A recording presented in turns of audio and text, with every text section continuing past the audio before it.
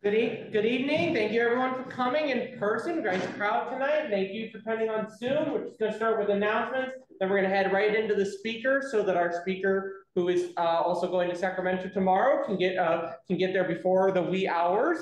Um, so just a few quick, super quick announcements. Uh, uh, and then we'll go to show and tell, and then we'll do the opportunity table. Opportunity table is fantastic uh, species and complex uh, have. So really a fantastic opportunity to table. Buy a lot because these are not cheap uh, plants, and the, the, the speaker has been gracious enough to offer these. And also plants for sale in the back from our speaker tonight.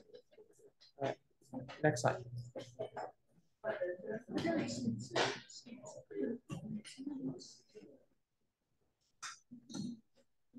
Thank you. Uh, as always, uh, judging tonight, if you have plans, for, the judges are in the back room right now. You can still out your plans. Uh, uh and uh, we will also, uh, tomorrow is in Sacramento, and Filoli is in third Saturday. Third Saturday, so that is 18th. 19th. Next up. Um, again, our combo board and show committee will be uh, Monday. All are, all are welcome. All members are welcome to attend if they want. Uh, the board will be meeting there. Uh, again, no in-person meeting in July, but we will be having um,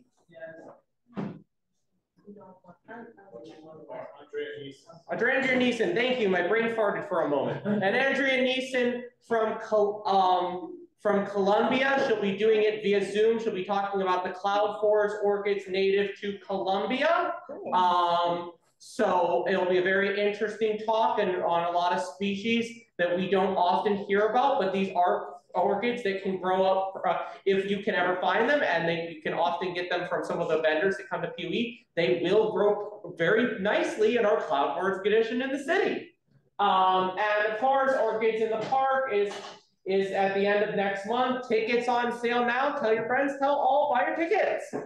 Um, and uh, last bit, um, uh, New Orchids and bark. If anyone needs bark, we're putting in a bark order for the society. It will be shipped by the end of the month. So uh, come to me by the end of the meeting to put your order for bark in. We've still got space on the third pallet if anyone needs bark, moss, fern, anything else uh, contact, come to me.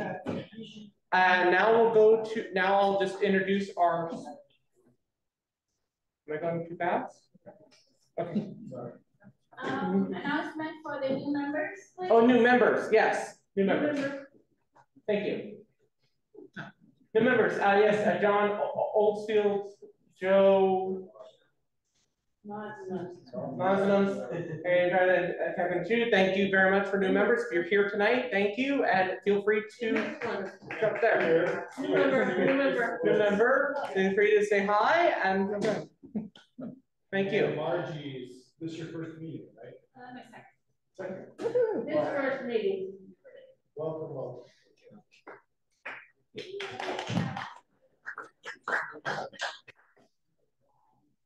And so, okay, tonight's speaker is Theresa Hill. Uh, she'll be speaking to, tonight about complex Paphiopedilums and the new breeding. Uh, Theresa has been a partner of Hill you know, Orchids in, um, in, in Oregon and will be and has been breeding Paphiopedilums, uh, a Miltoniopsis and Masdevallias for 32 years and has and has been doing some of the most fantastic work in you know, a little bit longer.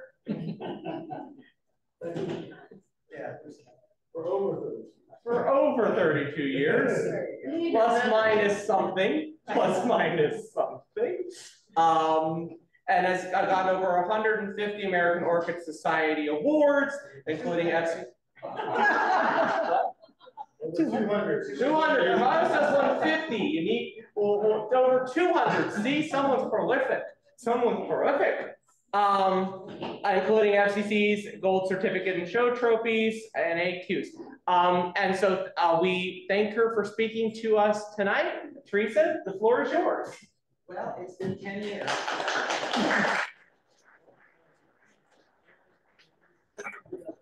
Oh, okay. Can you hear me? I think I have a booming voice. I think you can all hear me, can't you?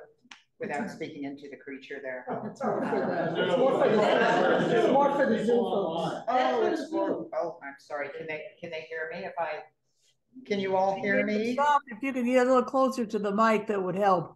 Okay, how about this? Uh, I really don't want to stand in front of anybody here, but, um, anyway, um, Do we cut the lights? Actually, Hillsview Gardens started in 1974 when I was still in college and I got my nursery license uh, at that time because I was breeding Japanese iris, Hanashobu. Um, and as time went on, I also grew orchids uh, indoors under lights.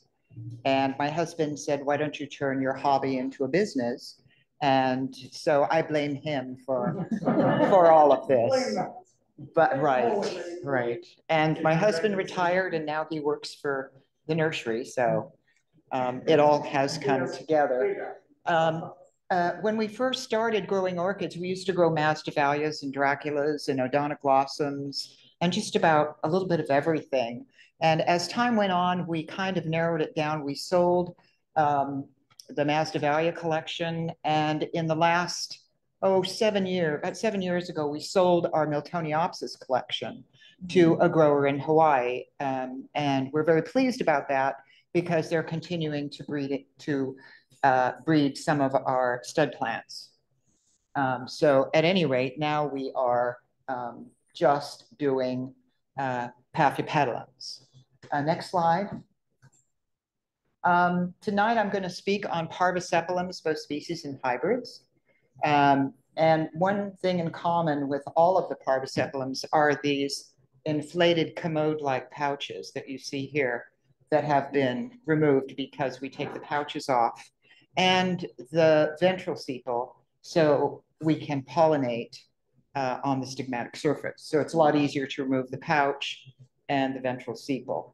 That way we can easily um, uh, do our pollination without damaging the plant. And we find by removing those uh, two uh, pieces uh, from the flower carefully, um, everything goes just fine. Um, next slide.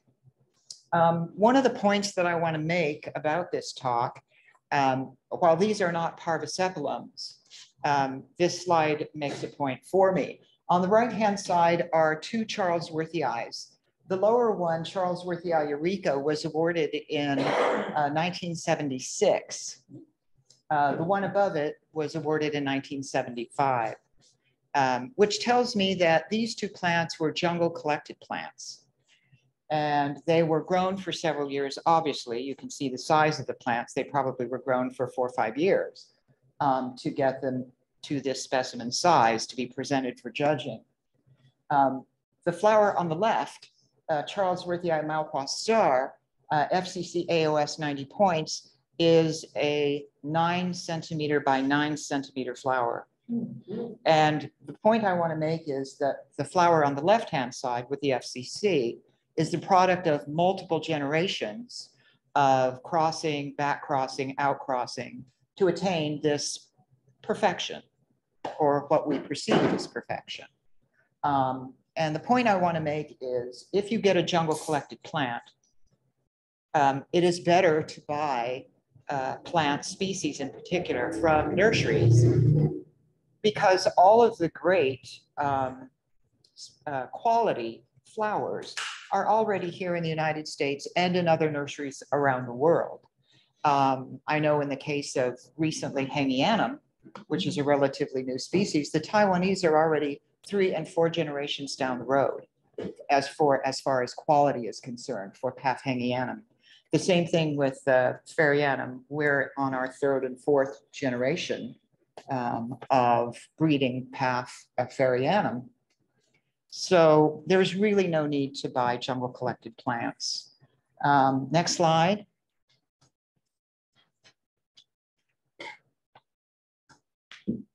Um, one of the first of the parvisepalums to be introduced into cultivation is Paph delenatii. Um, was first um, uh, discovered in 1913 by a French army officer. Um, it was rediscovered in nineteen twenty-two. um, and plants were exhibited in Paris and Guillaumin was able to make the description from those plants that were exhibited in Paris in 1924. And here are two um, really nice examples of the standard form of Paph delenatii. Next slide. Um, and this is the geographical distribution of um, Paph uh, in Vietnam. Next slide. This is Paph delenatii forma albinum as described by Braem, Guido Braem in 1998. This is Margaret HCC AOS. We're on our third generation of Alba, um, Delenatii albas. Next generation, next slide, please. I had three hours of sleep last night. So um, this is a really fine Paph delenatii form of vinicolor as described by Olaf Grusenrud in 2007. This is Passion, one that we selected from a group. uh, We had purchased some compots. At any rate, this was probably one of the nicest ones. And we have already sibbed them and made primary hybrids using this particular color form, uh, Delenatii form of vinicolor. Delenatii form of vinicolor in early 2000 was found in an open market uh, in Vietnam. And the plants um, exhibited some strange and unusual characteristics. Next slide. Um, as you see in the, this is Paph Delenatii vinicolor in the, the central leaf here. Do you see the black line going all the way around the leaf? That is typical of Paph Delenatii forma vinicolor. Um, the Delenatii on the top is a standard colored form of Delenatii and the leaves on the lower are Delenatii alba. Next slide. Looking at some Delenatii hybrids, next slide. Uh, this is Paph Armeni White, um, a primary hybrid of Armeniacum and Delenatii. On the left is Delenatii Full Moon AMAOS, and on the right is the cultivar Champagne. Um, the Delenatii on the left was made with a standard uh, form of Delenatii, whereas the flower on the right was made with Delenatii alba. And while Delenatii standard form has the characteristic of bleeding out the color in its progeny, um, the Delenatii alba allows the yellow coloration from the Armeniacum to come through in a good number of the seedlings that we flowered. Next slide. This is Paph Joyce Hasegawa, a cross of Delenatii and Emersonii. On the left is Snow White and on the right is Pink Wings. Um, next slide. This is Paph Encharm Handel, Delenatii by Hangianum. I noticed that there's a Hangianum up here um, on the table, I believe. Um, one of the nice things about Hangianum is it imparts great size to its progeny. Um, also heavy substance. Uh, on the left is uh, Chang Bronze Medal Taiwan Orchid Growers Association, and on the right is uh, Bear 8 from Hengsheng Orchids in Taiwan. Next slide. This is the sort of thing that you get when you cross Delenatii with a complex uh, paph. This is Paph and um, cross of Winston Churchill with Delenatii. And in this particular case, Del Delenatii does not wash out all the color. And that's typical when you cross complex paphs with Del Delenatii, which is different. Um, this is Pink Jamboree AM AOS 80 points. Next slide. And this is Del Delenatii with Rothschildianum. This is Delrosi, Lahua Wings, HCC AOS 78 points with really nice color. Uh, the wonderful thing about using Delenatii with any species is it increases the size of the flower um, exponentially. And you certainly see that in with such crosses as everybody has seen and awed over the Paph Dollgoldis, um, Delenatii, excuse me, Rothschildianum and Armeniacum. Next slide. Uh, looking at Paph uh, Tang and Wang, 1951. Paph micranthum is from northern Vietnam and western China at about 1,100 to 5,200 feet in elevation. Um, You'll hear over and over again, um, as I described many of the species, all of the species certainly, that they are high elevation plants that are typically dry uh, in the fall and winter with heavy fog. And then the heavy rains come in late spring and summer. Um, and this particular plant at 5,200 feet gets quite cool. We grow our micranthums and armeniacums in the back of the greenhouse, and the temperatures get down as cold as the upper 40s. You could very easily grow a good number, micranthum and armeniacum in particular, with things like masdevallias, because they are truly cool growers, high alpine plants. Um, also, the thing about uh, all of the Paphiopedilum species are endemic to what is known as the South China Vietnam subtropical evergreen forest. Um, next slide. And this is the geographical distribution of Paph Paphmacranthum. Next slide. I have a lot of slides, so I'm going to try to move through quickly. I think I have 90, so if you need to get the hook, just let me know. Um, this is Paph micranthum variety Eburneum.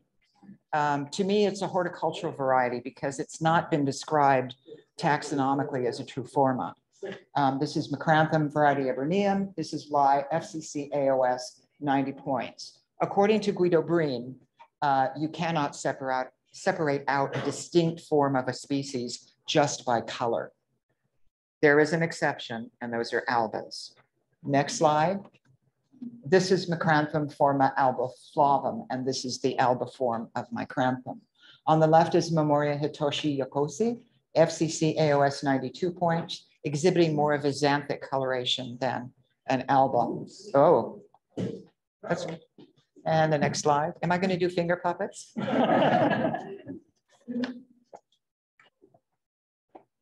should have brought some water.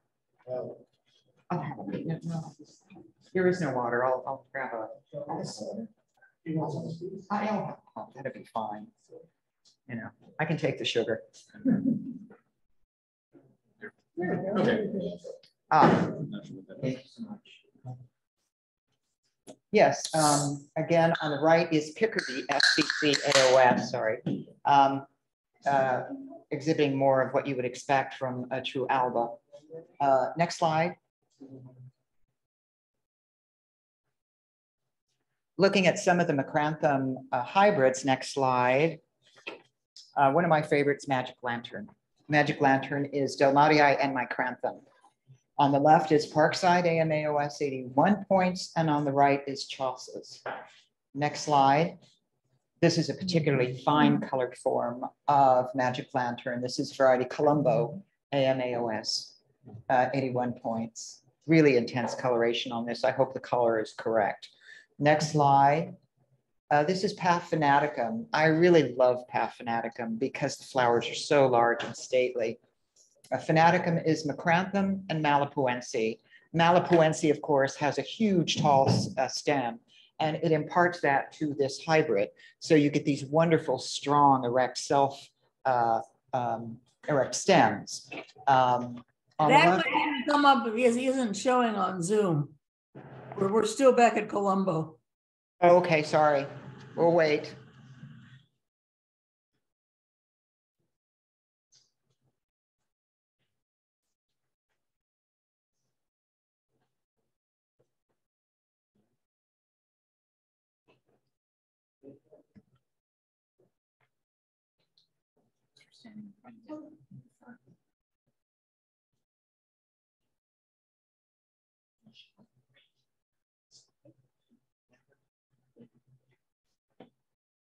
Um, while that is being fixed, um, uh, one of the things I can say about culture is we tend to grow, and you'll see at the end of this of the slide program, we grow most of our uh, in either bulb pans, shallow bulb pans, or colanders.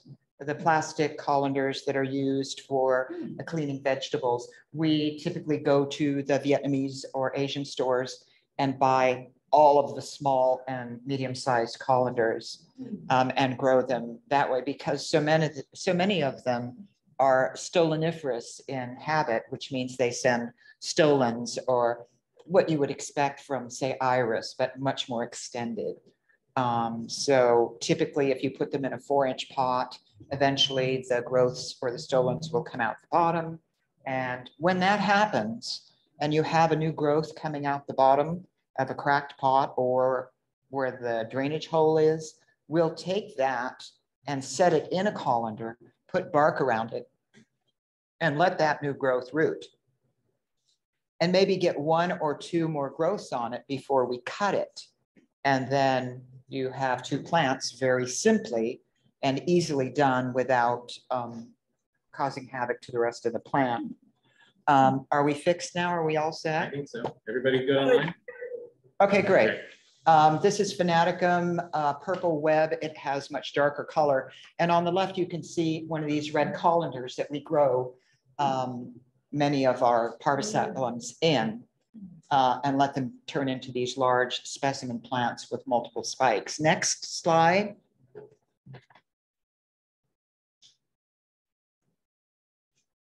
Uh, this is uh, for Char, this is Charlene Zegri. Um, That's okay. This is Charlene Zegri, a cross of Micranthum and Fanaticum. That's taking the previous uh, photo of Fanaticum and cross, back crossing it onto Micranthum. And this is the results you get, the intensification of color. Um, This is Fanatic Vision, AMAOS 83 points. Next slide. And this is Kevin Porter, a cross of bellatulum and Macranthum. And this is the sort of thing that you get when you cross the brachypetalums with the parvisepalums. You get this wonderful saturation of color uh, as exhibited in these two Kevin Porters. Next slide is another example of taking a brachypetalum wenshanense and crossing it with a parvisepalum uh, micranthum. This is Akigoromo. Um, this is Bear One from Hongsheng Orchids in Taiwan. Next slide. This is Gloria Naugle. This is taking Micranthum and crossing it with, with Rothschildianum. And you get these wonderful, again, saturation of color. This is TriStar FCC AOS, 90 points. This is a particularly good one. Uh, next slide, Armeniacum. This is probably my favorite of the parvies. Mm, I think that probably has something to do with the fact that um, I remember when they first came in and um, growing them and flowering them and just really being awed by the color. Um, this is, uh, Armeniacum is um, a very cold grower. It's very high elevation. Uh, Armeniacum is right about 5,200 feet in elevation. Um, we let it get down into the upper 40s. Um, I remember when we first grew it, um, we had a visitor from Taiwan, Penchi Lai, came to the greenhouse. And because I was growing it in with the Miltonias, I didn't have any idea how to grow the plant. And he said, you need to put it in with your masdevallias. And sure enough, we did. And that fall, spikes came and success. Um, just a matter of knowing what to give the plant.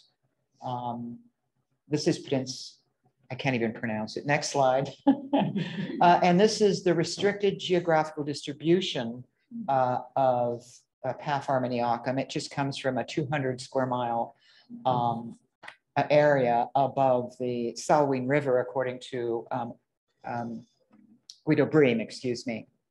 Next slide. This is the alba form of Armeniacum. This is Armeniacum formomarkii, uh, as described by Olaf Gruss in 1997. Next slide. Looking at some of the Armeniacum hybrids. Next slide.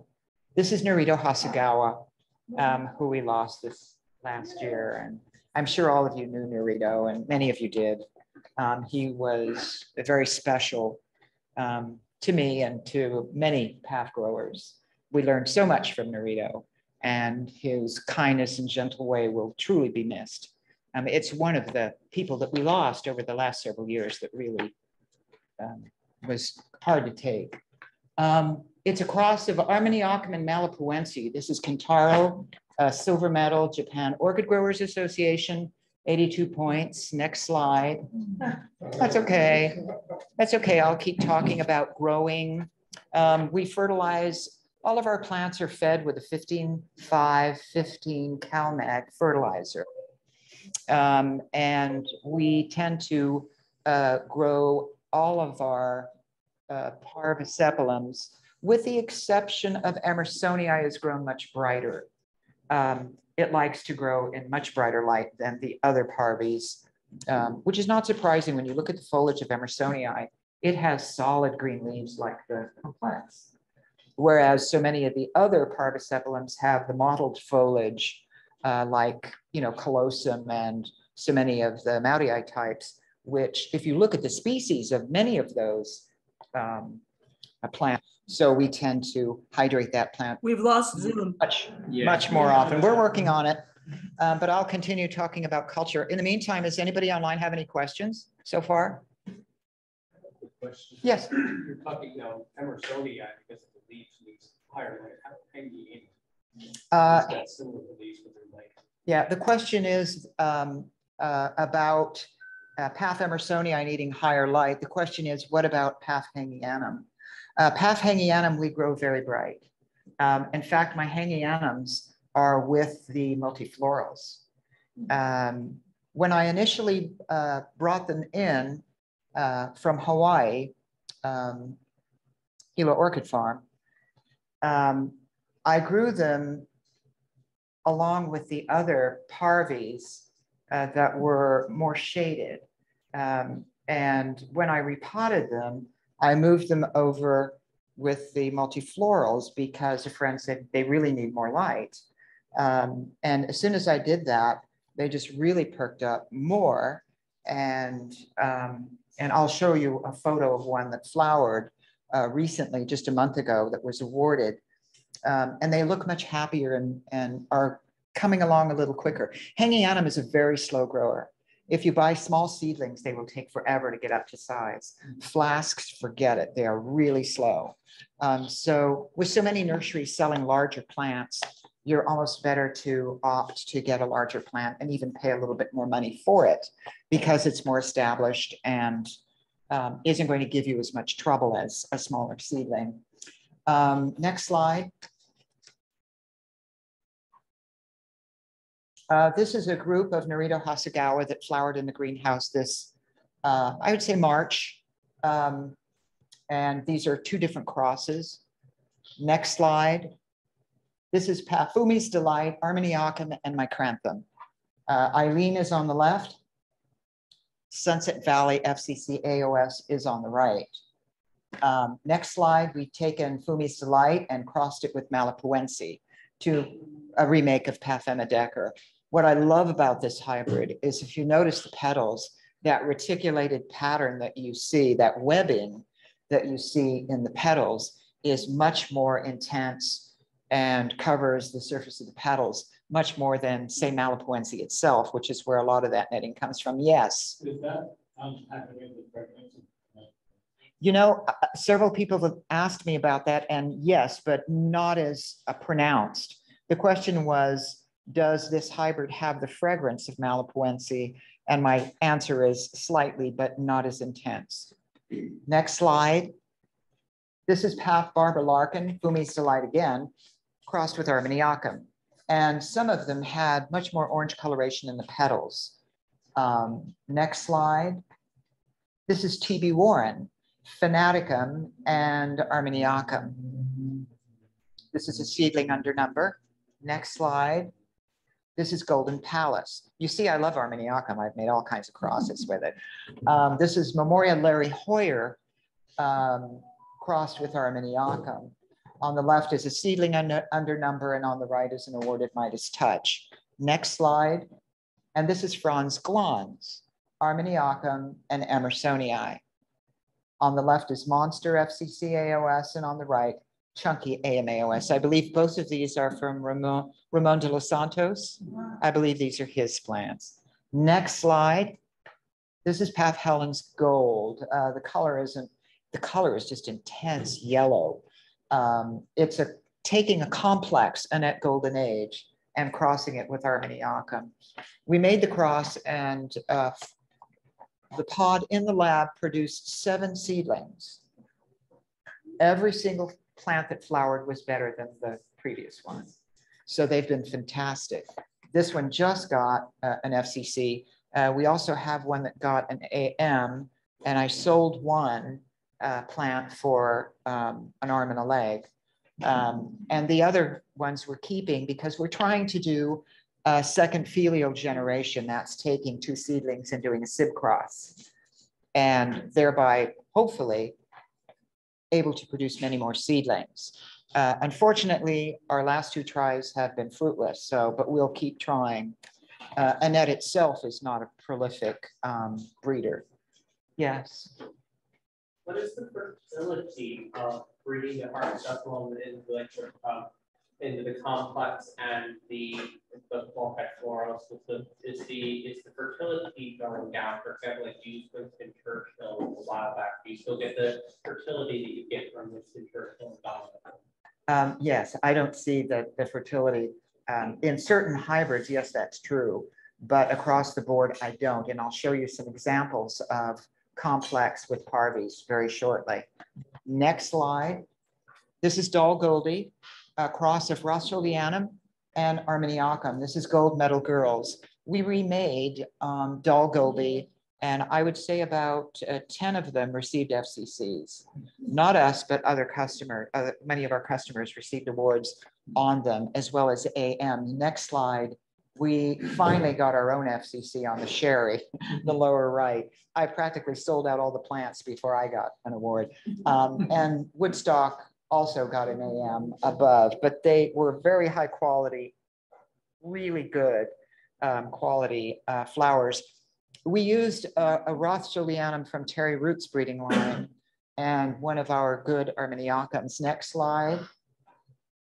These are some of the Malipoense we are using for breeding. These are three different plants that, and you can see the shallow bulb pans here.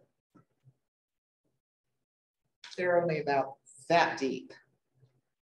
So um, we use a very open mix, grow it quite wet. On the left is Intense, which is a great flower. Uh, Victoria in the middle, named after my sister. I believe it got an HCC.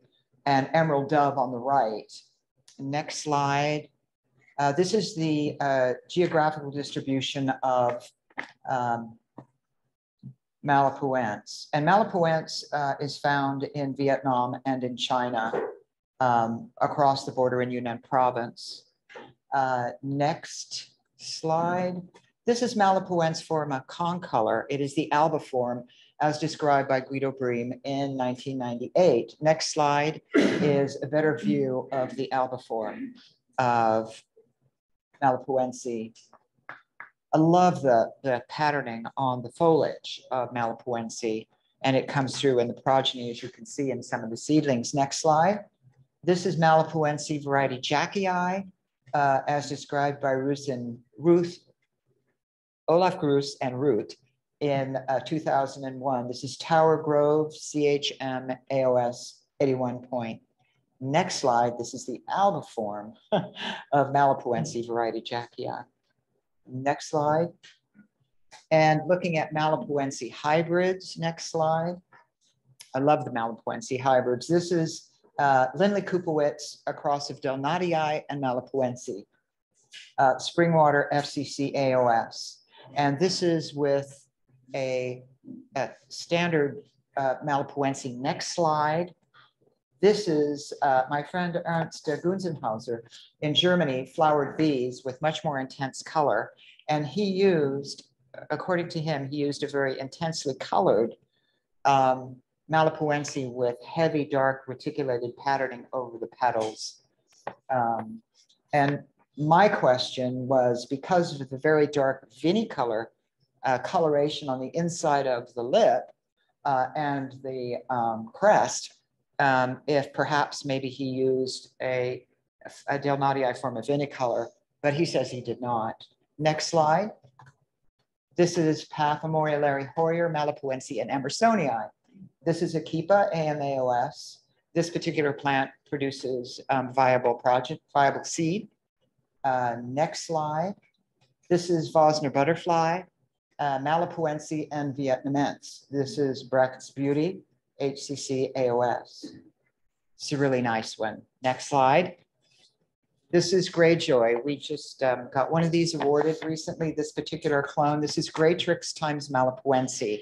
Again, taking a Brachypedilum and crossing it with a Parvisepalum. And what I love about it is the intense patterning over the surface of the flower from the Malipoense, because the Greytrix is a white flower with a bit of coloration peppering in the, in the petals. So the saturation of color is from combining the two, which is really interesting. You never know what you're going to get when the uh, reassortment occurs. Next, uh, next slide. This is a case of taking uh, and crossing it with Armeniaca, I'm sorry, Malipoense.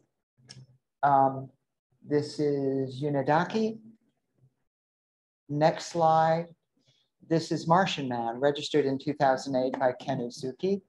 It's Emerald Sea and Malipoense. Again, a complex green with Malipoense. And then you take Martian Man one more generation, next slide, and you get uh, Martian Emperor, which is Pacific Shamrock and uh, Martian Man. This is Green Monster, Silver Medal, Japan Orchid Growers Association. The flowers on these intersectional hybrids are quite large. They're larger than the geometric average. So they're much larger than what you would expect from uh, this type of breeding. The next slide. This is Harold Koopowitz, uh, cross of Malipoense and Rothschildianum. I love this.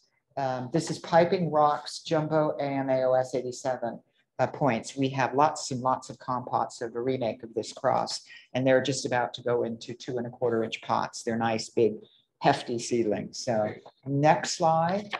This is Paph emersonii as described by Coop and um, Philip Cribb in 1986. This is a particularly fine form of the species.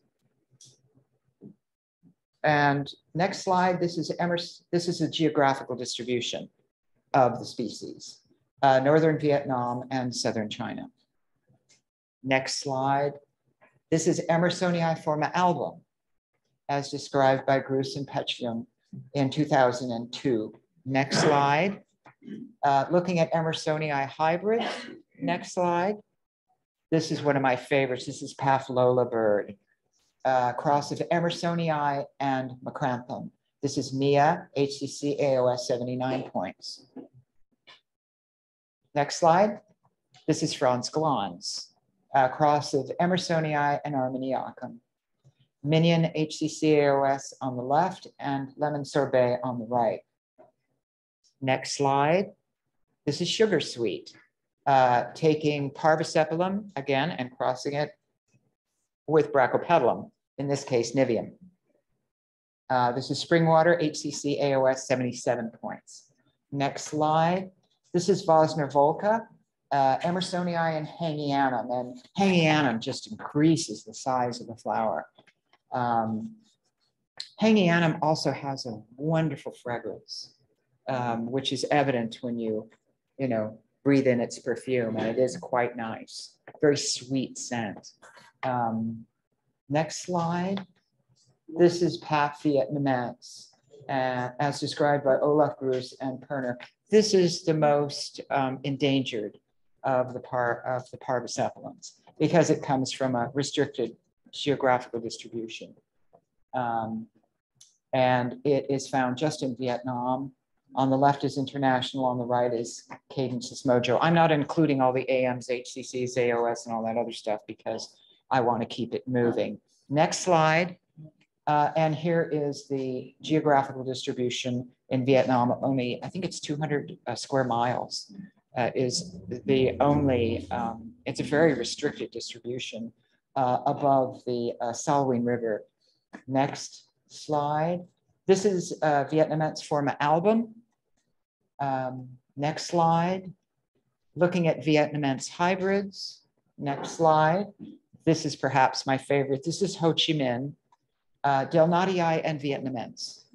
On the left is uh, Tsinghua Bronze Medal Taiwan Paphiopedilum Society. And on the right is a Apopka CCM AOS 82 points. Next slide. This is Green Eyes, uh, one that we flowered um, a number of years ago. Um, I now have three big pots of it, so I haven't uh, done anything with it, but thinking about using it for breeding because it has really good, very large petals. Next slide. This is Wössner Vietnam Love, Micranthum and Vietnamense. This is Bear Six from, um, um, forgetting the nursery, uh, Hangshang orchids, excuse me, in Taiwan. Next slide. This is Wössner Vietnam Gold, Armeniacum, and Vietnamense. Love the saturation of the yellow color. I'm surprised with Vietnamense that this happened. Next slide. This is Wössner Vietnam Star. It's a cross of Rothschildianum and Vietnamense. This is Wan Chow, silver medal Taiwan Orchid Growers Association, 82 points. Next slide. And this is Hangianum, as described by Perner and Gruss in 1998. Uh, next slide. This is the geographical distribution. Um, Northern Vietnam and Yunnan Province, China. Next slide. And this is Hangianum Hillsview. This was just awarded last month. This is a seedling that uh, we flowered. Next slide. And by the way, I put the pollen on a lot of things, including complex. So hopefully those will take, and it looks like they are taking. Um, this is Hangianum forma alba, uh, as described by Gruss, Gruss and Petchlum um, in 2002. Really nice form on this alba. Next slide. Looking at Hangianum hybrids. Next slide. This is Shunfa Golden, a cross of Hangianum and Malipoense. And the Shunfa Goldens have the fragrance of Malipoense. That sweet fragrance comes through very nicely. Next slide. This is Liberty Taiwan, Hangianum, and Micranthum. On the left is Bear 8, and on the right is Harju, silver medal Taiwan Paphiopedilum Society, 80 points. Interesting, the, the difference in coloration. Yes. Is, I'm seeing some red coloration. I don't normally think of red color pigments in the packs, normally that's exclusive to the phrags. Is, is the red that's in the photo, do, like the last slide, is that actually in the flower? Or is that something in the, in, or is that just how the?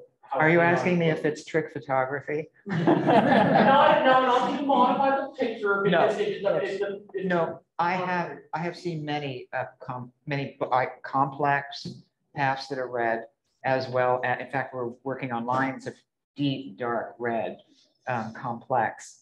And I have seen some parvies, hybrids that exhibit, I wouldn't say dark red color, but next slide, you'll notice you get this intense, almost a, a coral pink almost, a coloration um, to the surface of the flower. It's tough to describe flower because flower color, because we all see it a little bit differently, but it is intense.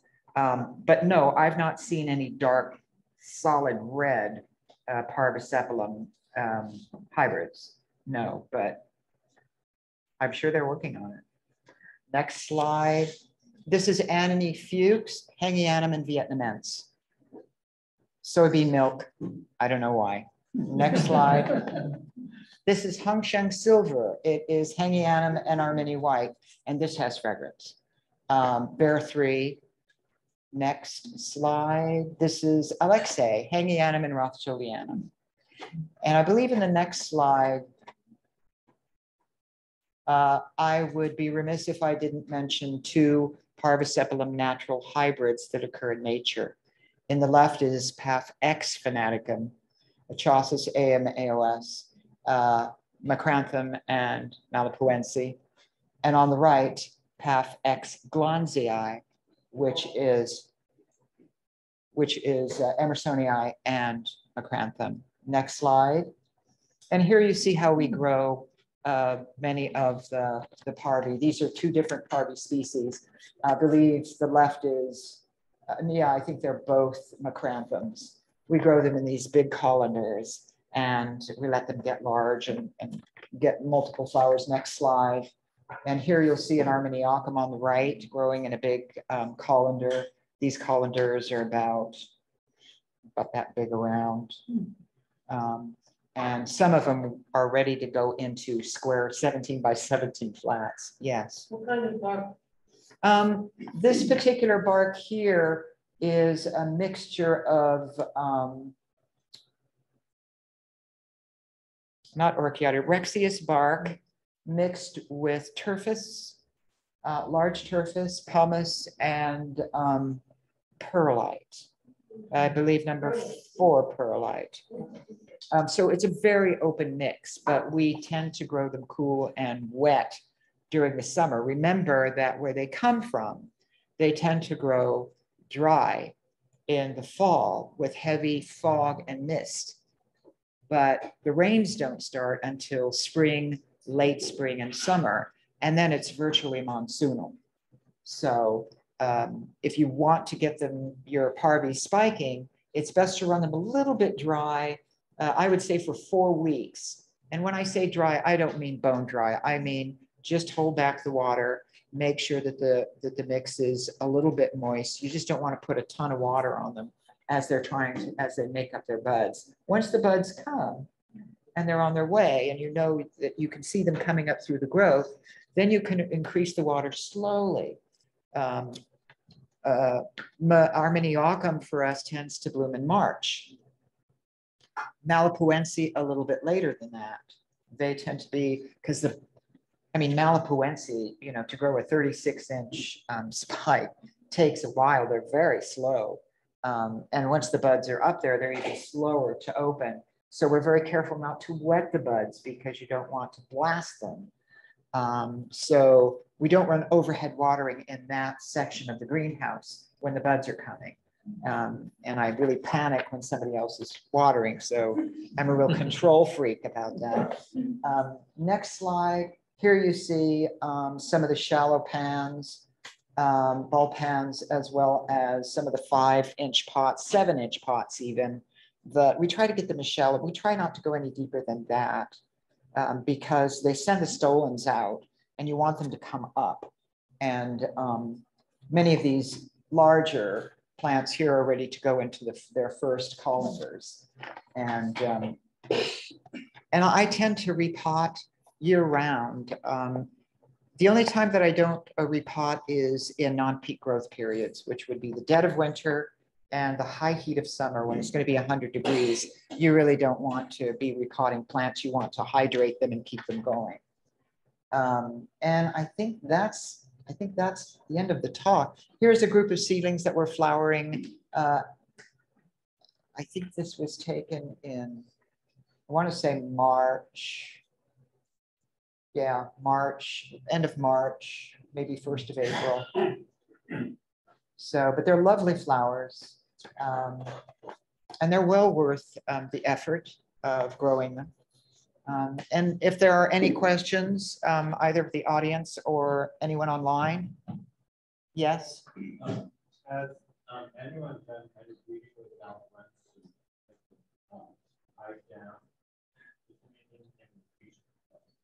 um, well, actually, um, I have, we bred, I showed a, a slide of Malipoense with a brachy that we did. Not, a- not a- just straight lenses. straight Malipoense to get a shorter stem. Um, I have some Malipoenses that have a little bit of a shorter stem, but they're not good flowers, so I wouldn't use them for breeding just because of that. Whenever I breed plants, I look for at least four strong criteria. At least, and if there's not four, there should at least be three. And if there's only two, if you're only going for color or something, that's one thing. But I like to see great color, great form. Um, the plant should be vigorous. Um, you know, I look for a number of criteria before I, you know, select something to be used for breeding. Um, but I understand what you're talking about, wanting to bring it down to more manageable size. But I love the, the tall stems. Um, they're stately, magnificent. And that, yes, they do require staking because you get a big thirty-six inch um, spike with a big flower on it. And, you know, you, you really need to stake that or it's gonna snap uh, the growth off. But, you know, that's, that's a, that is a perfect avenue for the hobbyist to breed. I, I think that's great. Or even the pot plant industry. You know, if you want to produce Malipoenses for the pot plant industry, why not? I think it's a great idea, but it's not an avenue that we're pursuing. Any other questions? Yes? Um, so when you say repot throughout the year, do you subscribe to the repot yearly? Because some growers or vendors say every year you should do plant. Um, uh, Each It- plant. It, it depends on what mix you're using. If you're using uh, Orchiata mix, which supposedly has a long period of, of viability and doesn't break down as quickly as some of the other barks do, um, then sure, um, you can probably go two, maybe even three years, I'm sure. Um, but I like to get in and look at the roots and the plant. Um, I will say this, because we're commercial, and when you're planting out, I don't know, a bench of twenty thousand seedlings in three and a quarter inch pots, those are all going to be sold or going into the dumpster. Be- and seriously, because the best thing I ever did was bring my husband into the business for the simple reason that my husband comes from uh, a nursery, a tree nursery, and they had five farms. And they grew gazillions of trees. And if it wasn't a number one or a number two tree, it went in the burn pile. So, uh, and that's how they kept the quality up. And when I, I only have eight thousand square feet of, of greenhouse space, I know that sounds greedy and big, but it really isn't. It's a small nursery. Um, we have two uh, greenhouses, hundred and thirty-five feet long by, I don't know, thirty-six feet wide.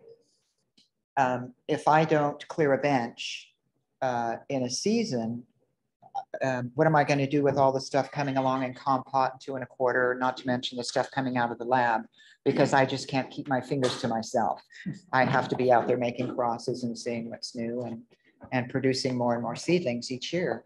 Um, although we're kind of to the point where we'd both like to retire, we sold our Miltonia collection to a Hawaiian grower. Um, and our paph collection is up for sale. So if anybody's interested, talk to me after. Um, because we really want to retire. I mean, I, my husband's eighty, I'm seventy-two.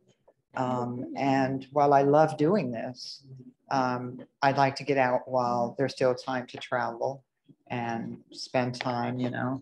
Are you mentoring someone for your orders? Um, I have to say I'm really not, um, mainly because um, there just isn't anybody around to mentor. We're, we're kind of, we're in the valley. We're about 35, 40 miles outside of Portland, southeast from Portland, in the Willamette Valley. Um, So wine, so what? wine and orchids. Wine and The. Willamette Valley to the wine orchids. But I plan on growing orchids in retirement. I plan on uh, going back and, and, and picking up a few, maybe do some Miltonia breeding, maybe some, grow a few Draculas and Masdevallias just for my own enjoyment because I love them so much. Um, and a few Parvies. Um, but, um, who knows? Any other, any questions from anybody, um, online? Ah, okay. Uh, let's see, I don't see, sl- oh. What's the most expensive? What's the most expensive or the most cherished? Um, well, um, ooh, I would say the most expensive plant we ever sold was for fourteen thousand dollars. And it was a gold medal. It was the first gold medal on, um, a, oh gosh, not gigantifolium, but, um, the other, Kolopakingii that Maria Riopel got a gold medal, uh, from in Portland. And she sold me a division and that plant went to an, a, uh, orchid judge that judges the World Orchid Conference in Noumea, New Caledonia. So we sent it bare root through Australia. It took a month to get there. And it got there in perfect condition. He was thrilled. And so was I, because it was irreplaceable. So that was the most expensive plant we ever sold. Um, uh, Fourteen thousand. That was the most we ever sold, but that isn't my biggest single sale, no. So, but want to buy the nursery? Fourteen thousand. It's a little more than that, but just a little. So I have a question. You mentioned the bracky or carbocephaly combination in Texas. Yeah. I love it. But. I know that cyan and and Vivian can wash out colors too, so it has to be under certain. Um, well, I was really surprised um, uh, getting so much coloration. If we could go back um, to keep going back.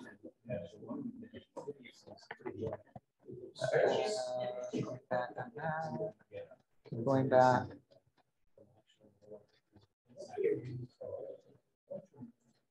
Keep going.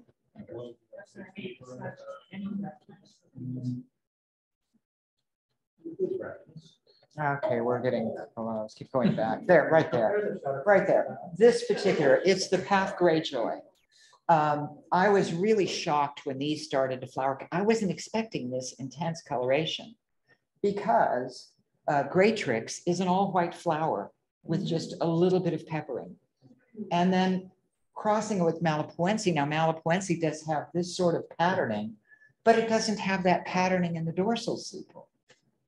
I mean, the whole thing is just flushed with color all the way. And some of the other thing ones that we flowered have even more intense coloration, but they don't have as decent a shape as this one. That's probably Jan Freud watching. Um, well, uh, I, I'm trying to think of, uh, if you, No, I, I guess my question really is, it's not just any bracky. well, all of the, They have their own kind of. uh, oh, I see. Well, yes, when you cross Bellatulum and several of the others, like Godefroy, um, with, um, things like Micranthum, um, and even when Chenence, the, um, one slide that I showed with the intense coloration, um, yes, you do get that. But the fact that this quite primary, or fairly primary hybrid of Graytrix um, with Malipoense in one generation produced this, I'm really, I was really surprised. I was not expecting it. So, yes. So talking, depending on the genera, you know, Bob and Bob will tell you that for odonts, the pod or, or pollen parent matters a lot. The max values they don't as much.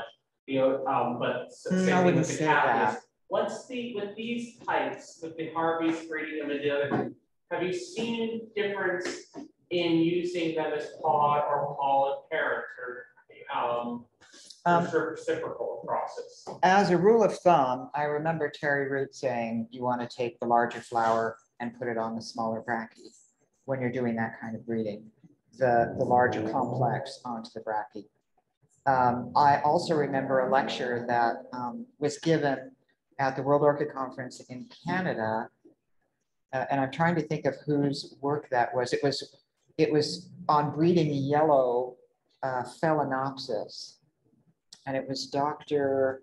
Griesbach who stated that when you're breeding uh, for intense yellow coloration, That's because of the plasmids. it's because, it's because the mitochondrial is female. Yeah, the mitochondrial plasmid. Exactly, because of, yeah, that's where a lot of the intense yellow coloration comes from. So you want to use the yellow uh, As the, as the female parent.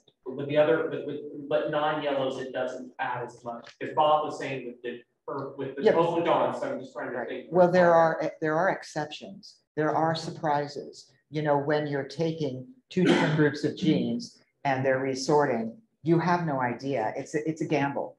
So, I mean, even within our families, I mean, my sister Victoria, um, she looks more like my mother's German. I look like my dad, who is Portuguese and Mexican to get into, you know, that whole uh, thing. My brother Robert is uh, real short like my mother, and I'm tall like my dad.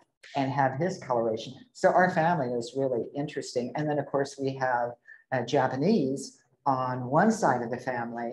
Um, and um, my uncle Robert um, looks more Asian than uh, Hispanic. So um, we're, our whole family is, I mean, we have, um, you know, the Ragazzi side of the family, they're Swiss German. And, and so I'm a real American. We have just about everything in our, in our family. So, but it, there's always those interesting uh, flowers, even within a group of seedlings flowering for the first time. There will be, as an example, we did a, a remake of Ma Belle, which I brought some seedlings. And I used, that was used uh, with a Balachla Malva. And I stated when I released them that we don't expect any albas out of this uh, pairing between Malipoense and Balachla Malva. Well, there are two alba on the bench that haven't flowered yet. They have all of the characteristics, green underside of the leaves instead of red. The leaves look like a typical alba. Those two seedlings are not for sale. I want to see them flower because if they are albas, I would love to sieve them and make more. So that was a real complete surprise because you would not expect in the first generation for there to be albas. Well, and, and we don't really know what, you know, it isn't just a, it isn't just a pair of alleles that switches on albas. There is more going on.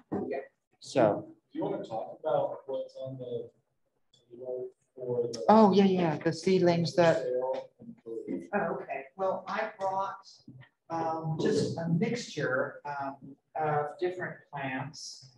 Um, There's a uh, Lynleigh Koopowitz um, in the group, which is one of the slides that I showed. And I also brought um, uh, three, I think, three complex hybrids. Paph Osage Eagle is a spotted red. uh, Paph um, uh, Ch- Chinook eagle is also a spotted red. Now this is matchmaker, it's a red, solid red. Uh, And then I brought two, um, um, two Maudiae types. This is captivatingly, Petula captivatingly, and some of these are really dark. This has really good dark coloration at the base of the foliage. These are really nice, uh, wide segmented Maudiae types. This is macabre rapture. I love these. I've flowered several of them and kept them uh, aside for breeding. It's a cross of macabre uh, Christine, which has an AM, very white petaled one. In fact, there's one when I was uh, packing plants, I found to see that the petals are so wide. It's from the macabre uh, parent, and it's crossed with um, contrast that have solid white petals. Um, and then I also brought a gold dollar. This is Armeniacum uh, crossed with um, Primulinum album. And there's a photo of them uh, on the sale bench. And I brought uh, brachyhybrids and a couple of species, um, Pathloiais, uh, and just a group of complex. So thank you.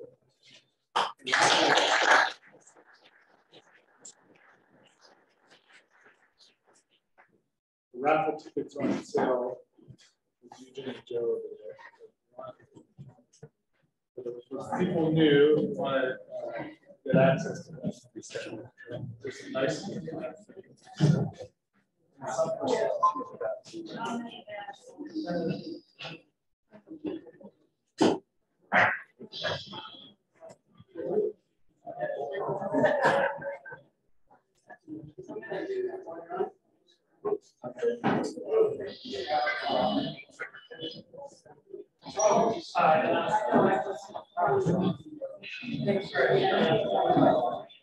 Did we?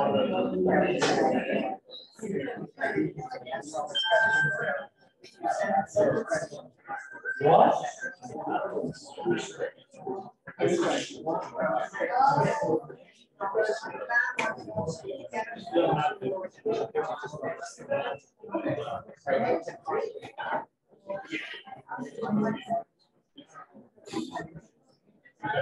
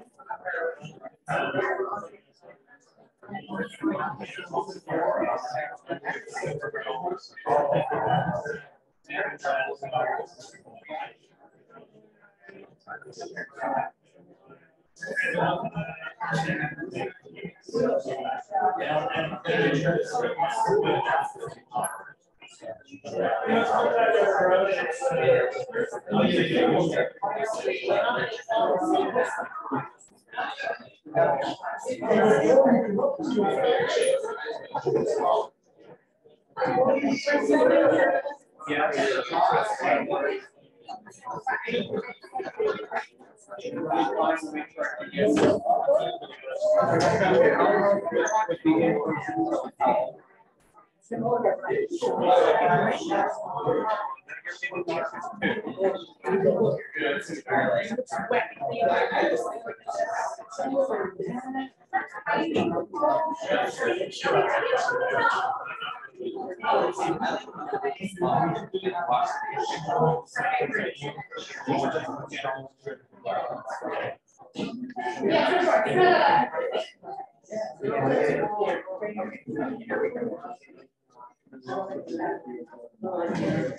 Gracias. Rain.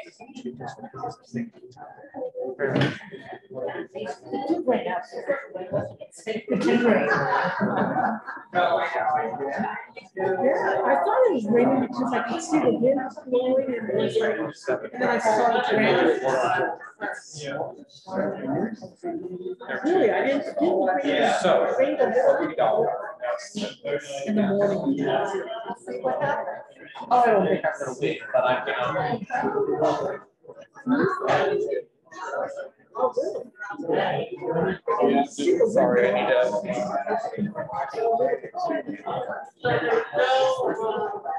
Natural area. Yeah. San Francisco. You know where, you know where the zoo is? Oakland Uh, no, yeah, right across the freeway, they're not. And get, get.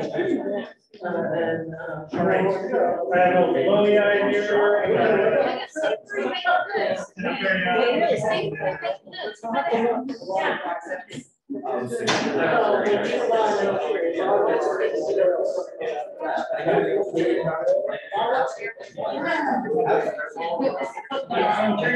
Yeah. Have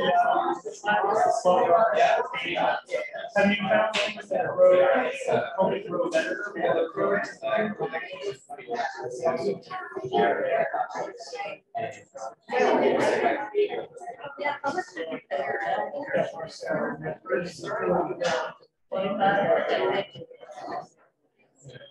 Yeah, yeah, I mean, I grew my. I grew my houses and things like that.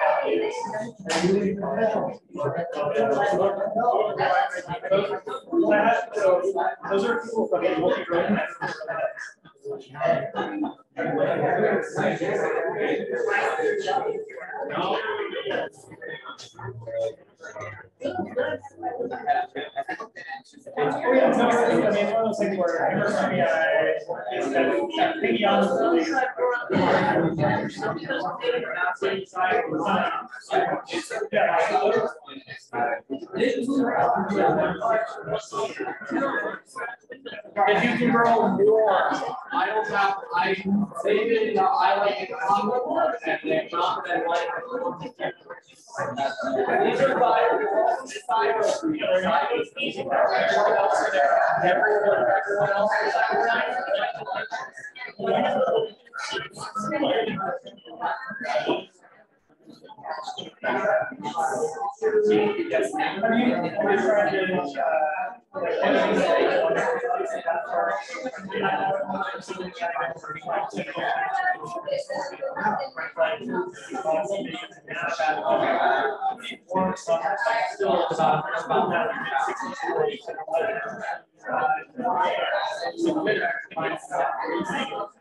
Uh,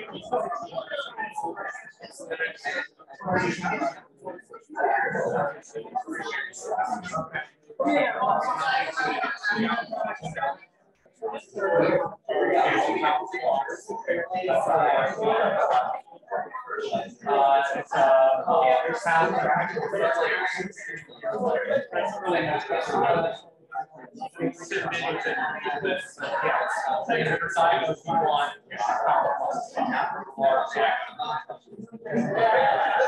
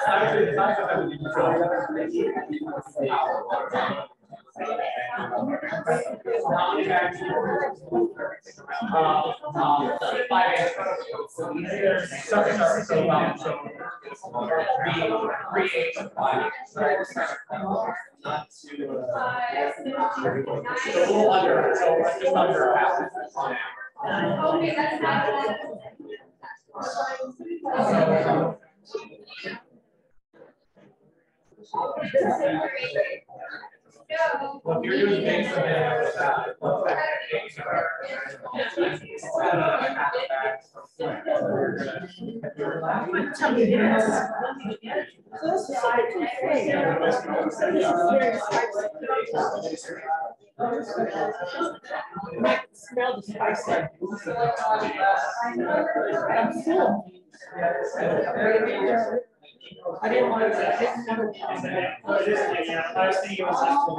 I was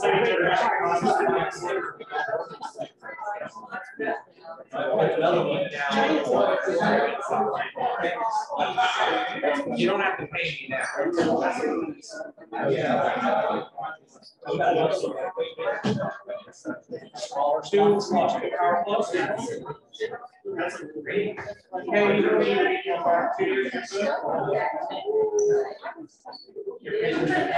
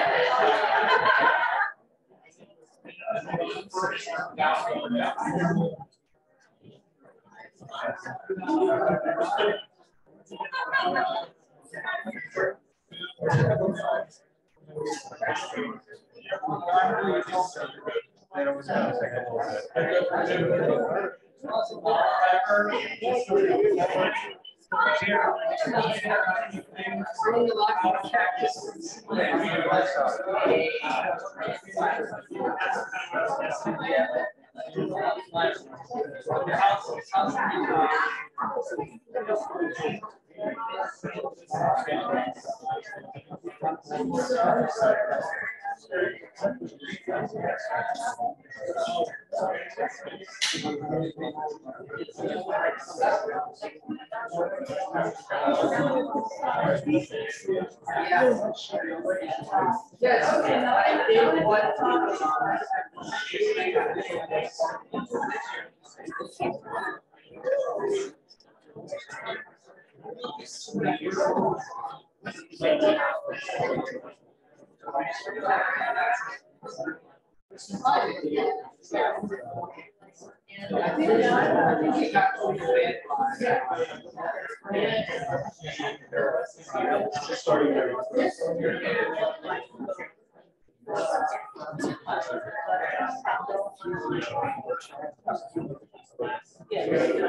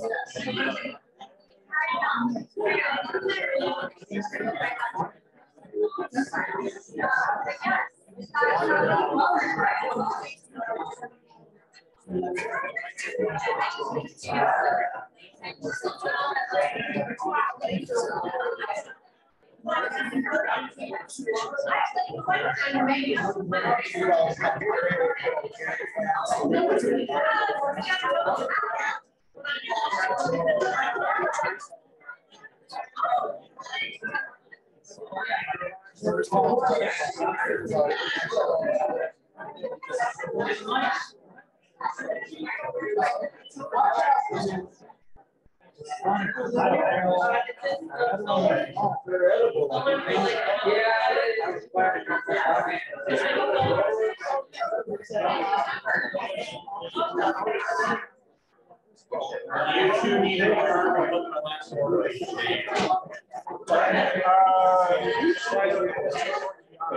Yeah. So, yeah, we don't actually. use uh, Your key, your kiwi, your kiwi. We buy Unibro. Uh, We found that, uh, we weren't really having good success, success with Orchiata. Plus the pH changes, we have to clean it up more often, even though she was saying After about two and a half years, you don't want to for that.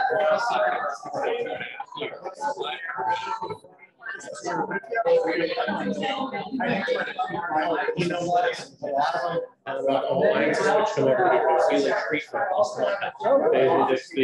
the, New Zealanders have not found a way to harvest it ethically and sustainably, and I can get it in.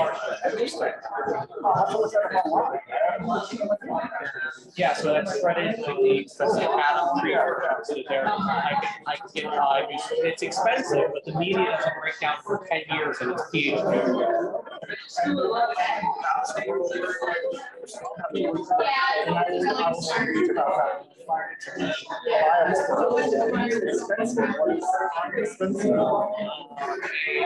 Liter bag. And a forty liter bag. But you're looking at something that is, uh, and I've seen triple the amount of my from all my. And the beauty is it just makes it solid, roots. So all I have to do is I pull the plant out, I put it in a new pot, and I, move and it makes my repotting job. Cause it's, So you don't continue to make it work, because it doesn't break down. uh, and it makes this heavily aerated, it doesn't, it doesn't get soggy in the center, so all I just do is I take the cane, whoop it.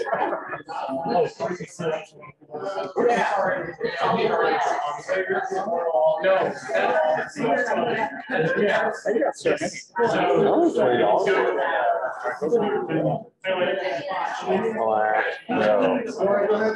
I want to spread People can do tickets.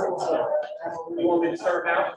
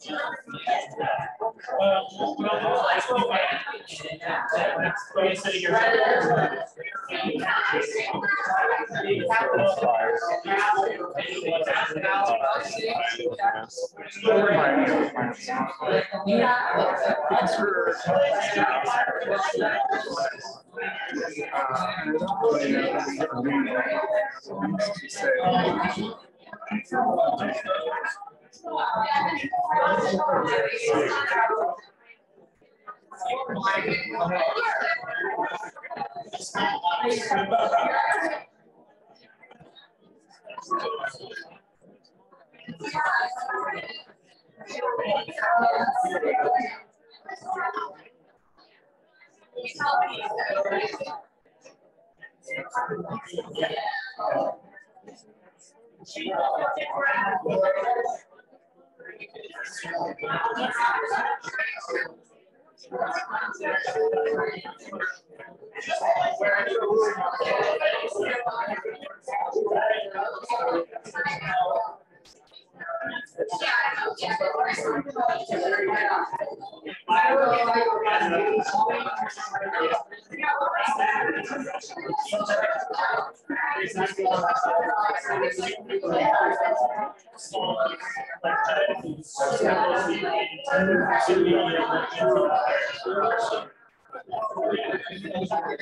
That's what I'm saying.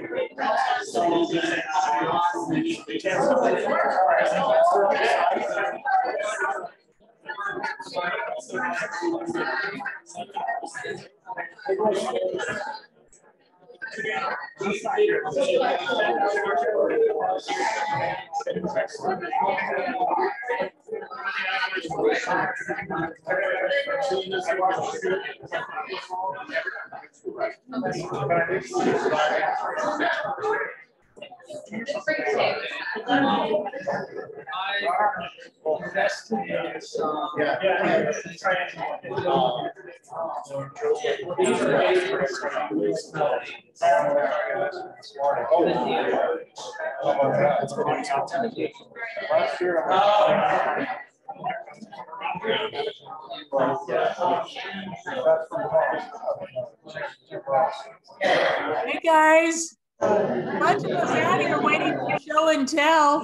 Yes, sir, yeah, don't worry, we are too. All right, it's the same control, so that's where you got it. Yeah. Hold on.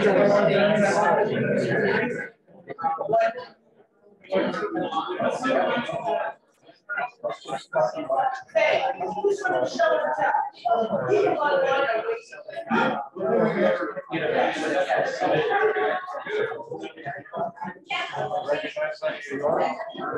Do you want to bang out the show and tell here and then? We're gonna start it soon.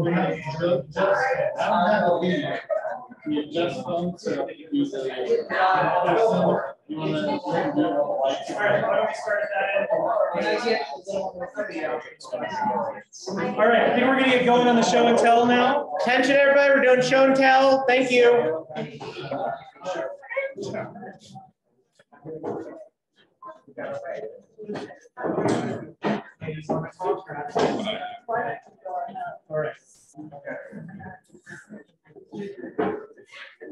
First plan on show and tell is Eugen's Maxillaria trixifolia. You can't see any volume. tenuifolia. Uh, this is the nice normal red form of it. And Eugen also brought in the rarer, uh, they call it alpha, but the actual one is called aurea, meaning gold. Because when This is Ben Berliner. Oh, Ben Berliner, Ben Berliner, okay. That's a hybrid. But that's, oh, it's a tenuifolia, yes. lovely coconuts. Because the coconut smells day fragrance. And we have a collection of a variety of um, Paph species, um, Parvisepalum type and others from. It's great for the, it's great for the, the other folks. All right. There you go. I got long arms. From um, Andrea. So this is Andrea's, um, Yeah, both of them. both of them, yes. Uh, He's trying to read the names. yes, I am. You want to know? You- Yes, thank you. Um, Mercy. Mercy. This is Fairmont, Fairmont, okay. Taffy Pelham. And the other one that, and the one I brought is Maurice Coat, I think. Yes. Yeah. So nice Fairrieanum type and a nice um complex. And then, and then Tom Merritt brought in a, a very nice collection of Parvisepalum, um, urbanianum and other type uh passwords. Yeah. Yeah, here's an adorable little Niveum. Maybe With multiple flowers as well, and then it's very nice, Tom. A Nice Parvisepalum type, similar to what we saw tonight for our speaker. Oh, here's a nice dark one. This is. Really warm, really warm. Yes, it certainly is. It's really dark. And talking about things that we saw in our speaking tonight, this is Delenatii. So for this is a real world example of what we saw tonight in speaking. Here's sukhakulii, one of my favorites. This is yellow. un, is un, You don't see that very often. no, you don't. Um, This is my Asianthera brage. You can see all of the little flowers in it. Well, people call this the one with kissing snails. That's what it was like to some people. Um, There's my Microcoelia stolzii, which is not quite in full bloom yet, but this is one of the African leafless orchids.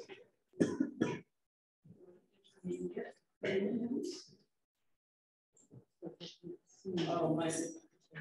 Finally got it to bloom, it blooms and it can Jackson. That's hybrid. Horrible difference. it is.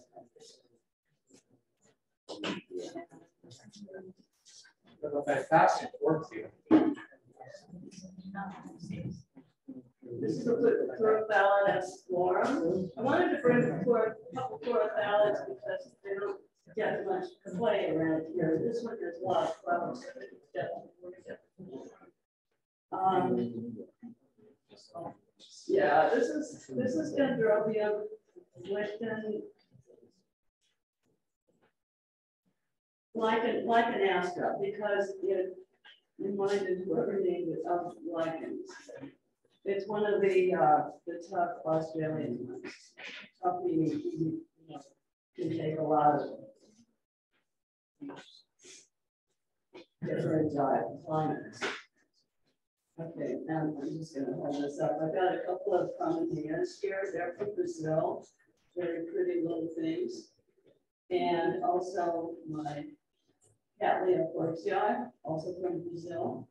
And that's the green form. There, it is not the alba. There is a, there is an orange form and a green form. This is the green form of Orxia.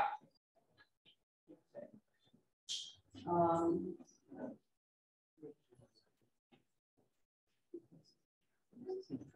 Well, no, it's a Laelia, but Taxonomus is Oh, smoking okay. something right all right. Excellent. Cattleya, cat- That's that. that's fine. Yeah. now. It's a rupicolous Laelia. It's one of the new, it's one, it's only known as cat because they've really gone into the jungles and started to describe a bunch of these Rapiduluses that are the more full segmented ones compared to the more starry like Harpophyllum. And then this is Odontoglossum. No, On. I don't support stupidity, so I don't, so I don't use onset for Odontoglossum. Agrizium, this is the nice starry flower. This is where that dark white and black coloration comes from. This is the species behind that type of line of breeding of odons.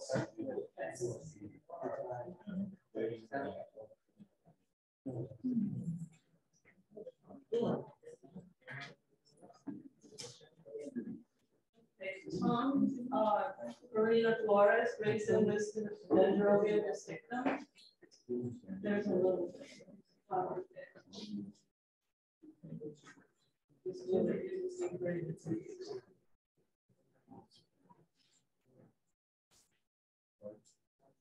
And this is this is uh, this is Ferrata Black Comet, so this is Peringiana by um, Cagliota um, Encyclia cochleata. Um, this is a beautiful color, it's been there, and we brought in two the last couple months, and people keep reminding me why I should buy one of these crosses.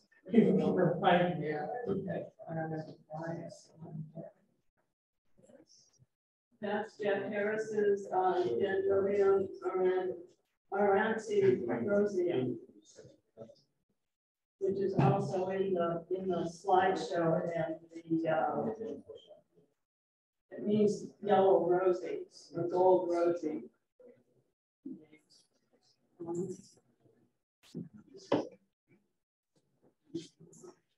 Yeah, and Great comes to Vignana, brought in by Jeff Harris.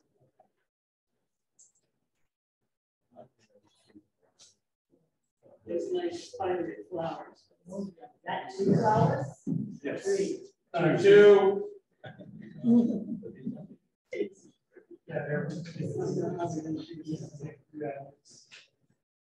That smells really tasty.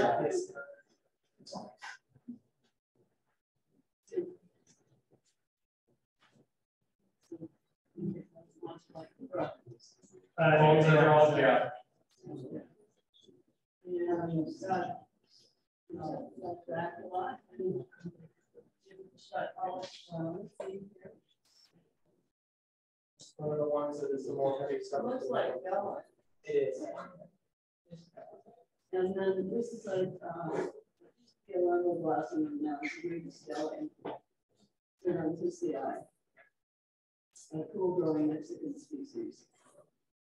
That's my favorite. I like them a lot. Agreed. And We need to find the flowers on this, um, there. This is the pansies. I brought that in for people to see in person, because it's hard to. This is where we have the jewelers loupe, But people. they bloom all year long, like it's continuous, all those stems they. If you can see the petals of the flower, you can automatically pass your, uh, the, D- you don't, don't have to take it, uh, your eye eye exam for DMV. Take your eye exam. Okay, this one is little, uh, preliminary, uh, direct from Red Bell. Another pretty little Caribbean. It's not. And, um.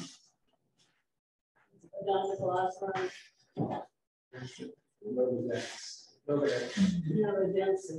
That's another one in the same. From city.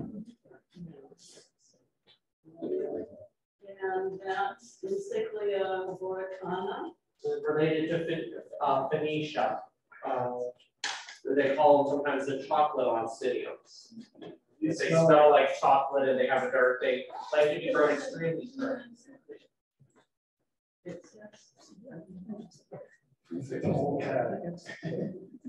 Um, this is gorgeous. I can't even, I've never been able to get one of these to stay alive over winter.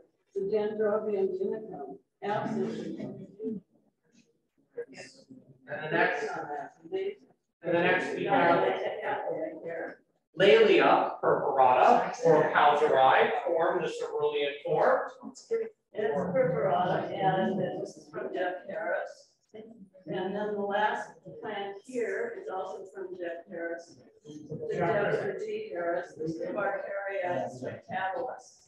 And I believe this got an award tonight. Jonathan, did this get an award? Yeah. Jonathan, what did this get tonight? Oh, uh, AN80. Well, Very nice. 7926.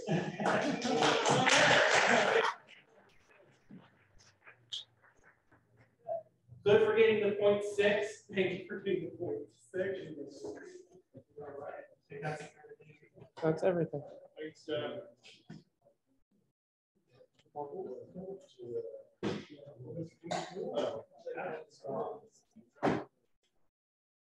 He was outside. Oh. He was taken off. All right. Oh, two, two.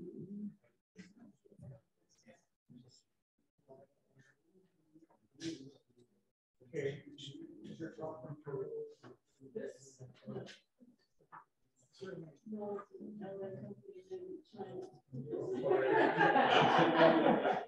Looks very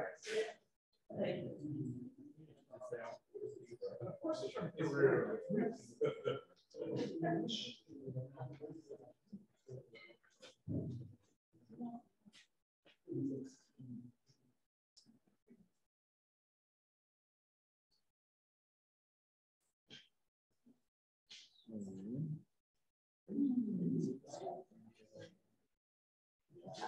After events. It's, uh,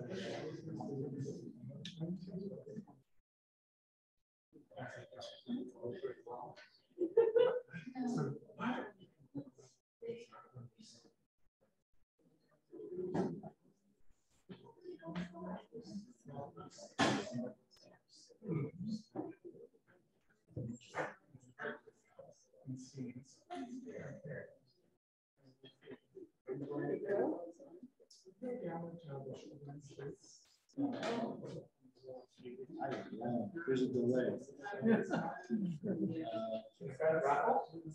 All right. Okay, ready? I've got show and tell. Need to do three of it. Full screens.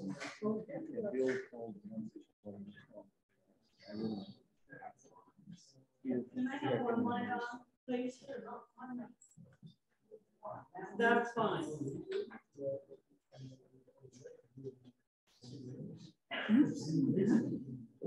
Yes, this, Sharon's clause. Oh. Really? Oh. Yeah, this is, yeah.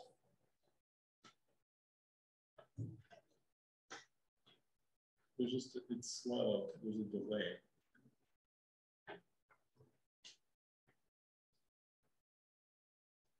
Yeah. Wow. Oh, yes.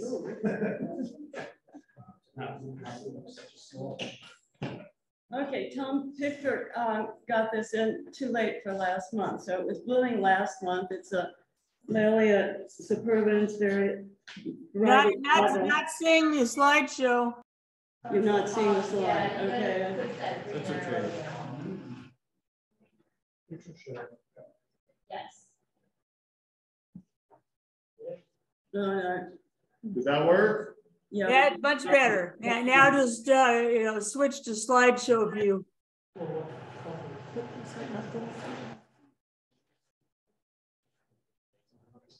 Is that, that, that's the presentation. This is not the show and oh, We tell. know, we know, Roberta, thank you.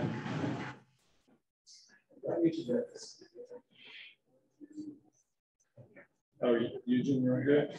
Good. Somebody knows how to use this stuff.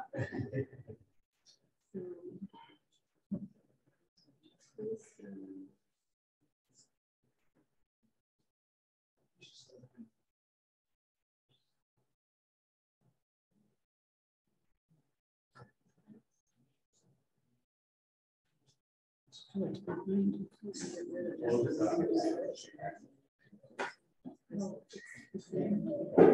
the one behind it's. Okay, let me redo this. Okay.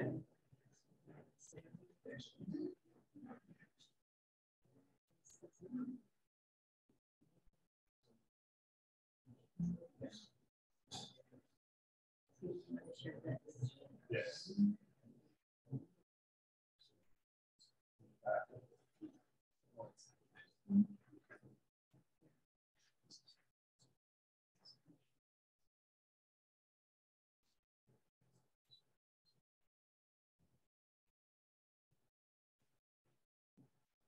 Should be good now. Okay, so I can just do it on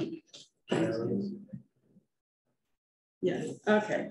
Back, back to Tom Pickford's Laelia superbiens.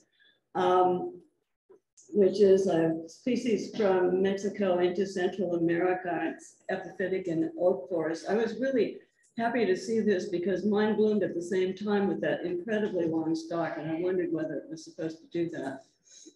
Um, it- Is there a way we can get rid of this down the middle? Water? Yeah.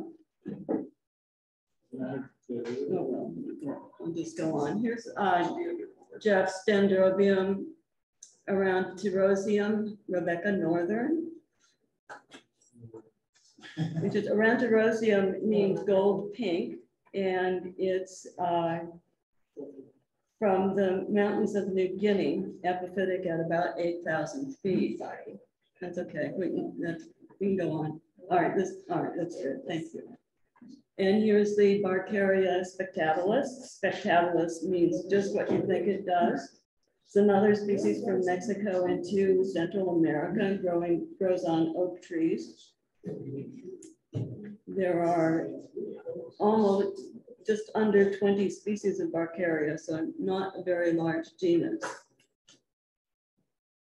Here's Heidi's Cymbidium, which she doesn't have a name on. If anybody knows what, what its name is, I'm sure she'd be happy to know. Growing outside in Modesto under shade cloth.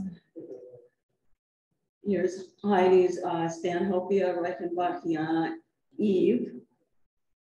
The Stanhopeas are from uh, the Cauca area of Colombia, which seems to produce an awful lot of different orchids in the Andes there. It likes it humid and it can, it in nature, it grows epiphytically, lithophytically, or even semi-terrestrial.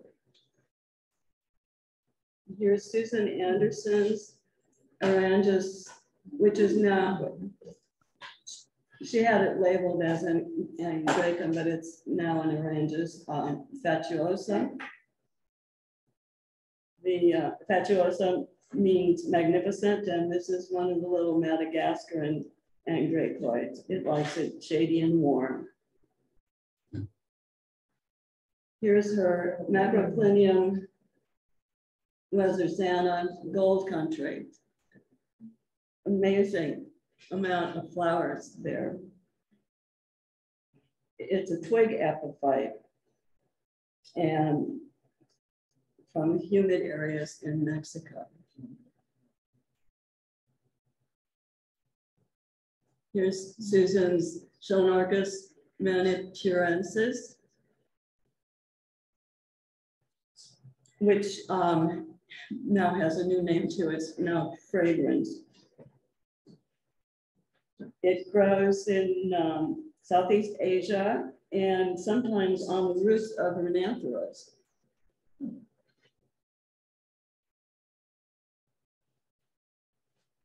Here's Dan Anderson's Sparagiara sunkissed buttercup, which is a complex species composed of mostly oncidiums. And grows, I'm assuming, in her intermediate greenhouse.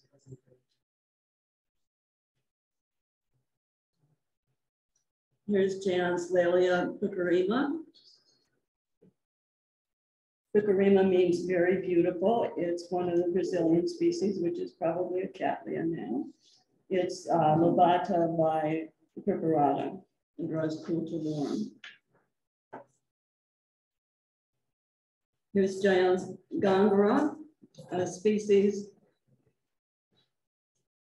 Don't really know the name of it. These always remind me of hummingbirds in flight, the way they're the form of them. There, the Gongoras, there are 69 species of Gongora uh, from the Andes. They're related to Stanhopeas. They generally have pendant inflorescences, as you can see there, so they need to be grown in baskets and hung up. Here's Jan's Guaran, Guarantica Tophila, Suncoast hot lava star is the name I found for this. She submitted it as the Myrmecophila tibicinis uh, by Laelia Cattleya rojo. The Myrmecophila means ant, um, ant bearing, and they, the Myrmecophilas have hollow pseudobulbs that ants live in and help keep things like like aphids off the plants.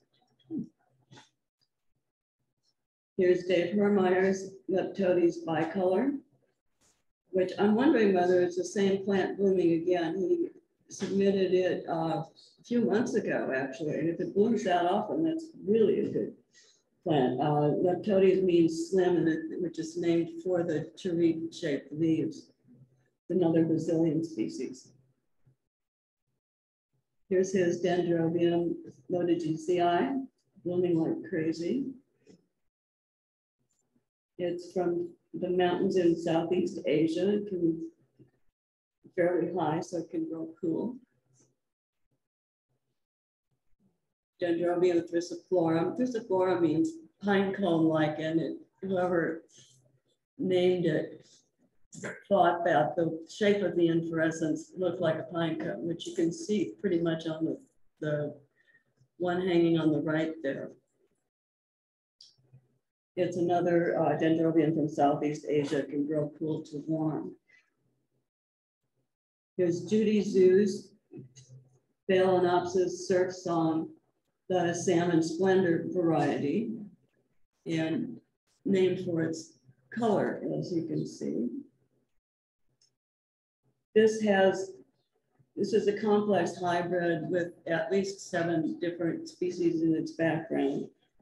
It took 15 generations to get to this, but that's an amazing color. Here's her uh, Leo's berry Phalaenopsis with the three different colors, which is kind of amazing.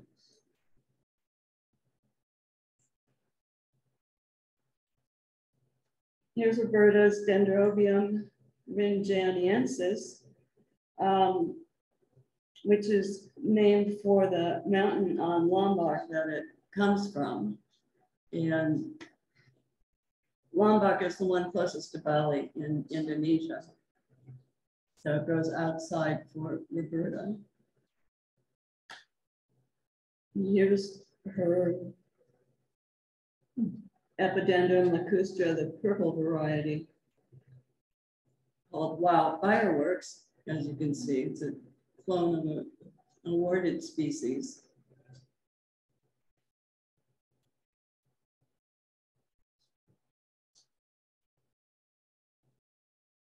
And her epigeneium, which is now a dendrobium, Farcii,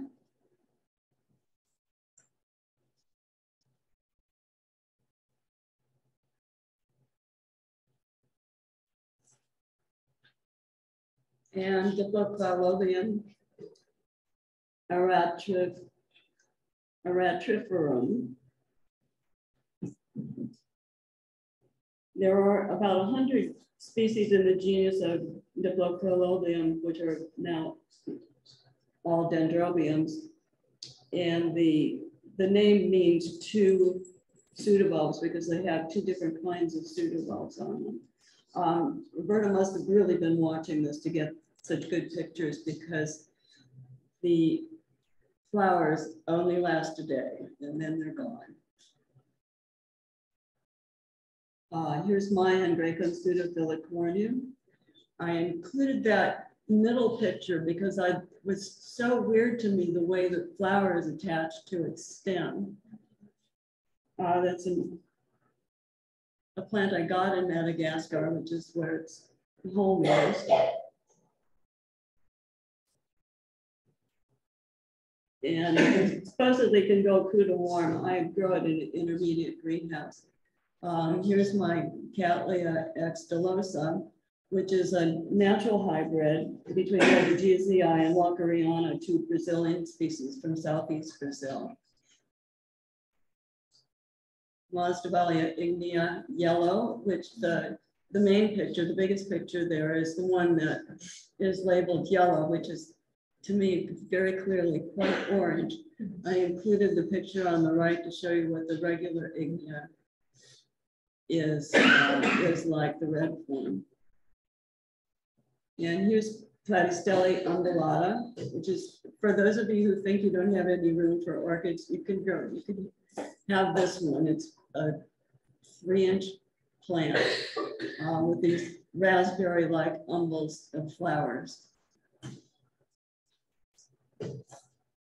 And Patty Bow shows us her Bulbophyllum maculensis, which is named for the mountain in Luzon in the Philippines that it comes from. It grows warm to hot and probably very humid. So I wanted, I didn't say that, but the order in which these slides were shown as the order in which we received them. And nobody submitted anything for Pet Parade and Peaches didn't feel like posing today. So that's our, that's our virtual show and tell.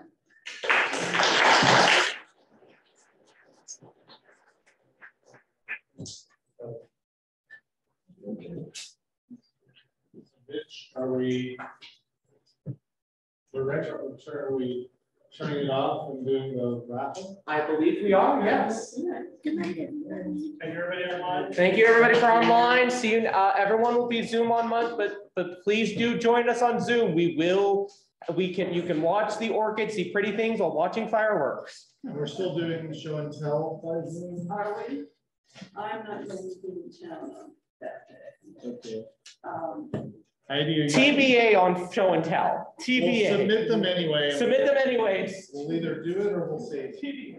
So what, uh, pick one from the basket? Yeah, we will, as soon as we get everything set up.